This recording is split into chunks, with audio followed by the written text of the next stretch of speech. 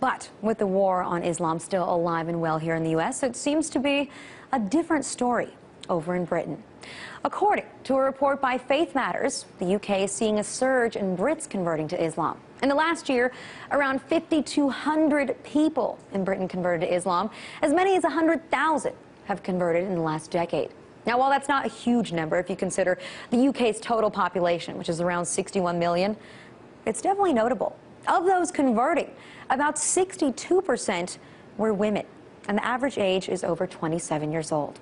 And the vast majority of women who converted also changed their appearance, with a significant majority adopting the hijab or a headscarf. Now, we've done stories here on the show how some European countries have voted to ban the hijab in public, to ban minarets. But that's not the case in the UK.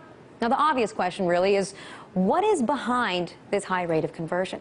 Some followers told Britain's The Telegraph that they felt lost in their own lives, that they were lacking in purpose before conversion. And most Brits have reported that since their conversion, they've been living with ease in the UK, that they've only faced minimal problems from their families about their new choice of religion.